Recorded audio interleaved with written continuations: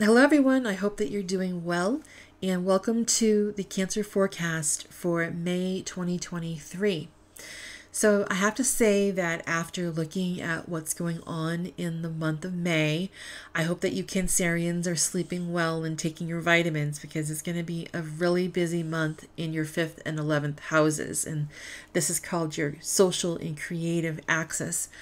Mm, but before we get into that, I want to let you know that I have a free gift for everyone who subscribes and likes my content here on this channel. So I'm giving away one free personal question answered.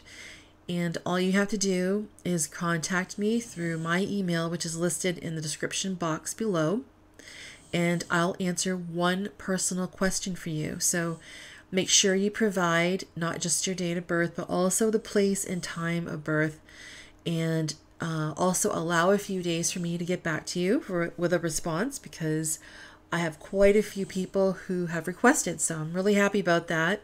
I'm happy about growing this channel so that I can help as many people as I can. So let's get back to the astrology forecast for May. We have a prenumbral lunar eclipse happening on May 5th in the sign of Scorpio. And this is a South Node related eclipse, and it symbolizes an ending to something that no longer serves you. So the ending might be an uncomfortable one, but ultimately, this is for your own good. This will be affecting your fifth house of creativity and joy, which also governs children. So there could be something coming to an end that involves one of your kids, if you have them. It could also signify an ending to something that once brought you joy, but you know is not healthy for you. So, time to change and let go so that something better can come into your life. For the rest of the month, you have a very busy 11th house, very busy. So, Mercury is currently in retrograde here in your 11th house, which involves social groups, friendships, the collective, and your biggest aspirations. During this time, you may want to review your goals and decide which social groups you want to continue investing your time and energy into. And you might be thinking about letting go of the connections that have been putting stress on you. At the end of the first week of May, Venus goes into your sign, Cancer. So if you're single, you could be finding someone very soon. The key here is to stay active socially so that you're seen and you don't miss out on any opportunities. If you're not single, this is a time when you'll be bearing the fruits of your labor, so to speak. It's a time to really attract and relish the happiness and beauty in your life. If you have a journal, write in a gratitude journal, dream big, plan some gatherings for later on in the year, stuff like that. At work, you could be making more money through the development of more business on the 14th, Mercury goes direct again, so you can move forward unimpeded with your plans.